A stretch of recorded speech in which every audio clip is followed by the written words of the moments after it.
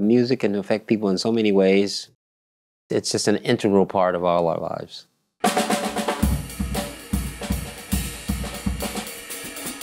You know, oftentimes I was thinking red and maybe blue came out, and then I was like, oh, let's, let's go with the blue.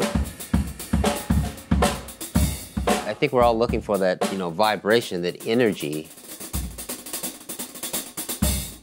There's so many aspects. The pulse of it, vibrations of it. It's all about vibration. Music has always been that thing that has been an integrator. I, I just think it's a beautiful thing. And so it's a way of expressing yourself, right?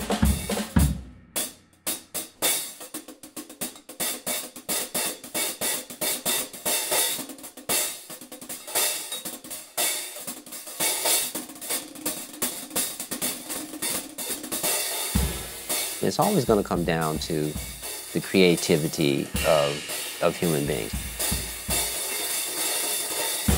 Whether you're a musician or just cooking in your kitchen, you know.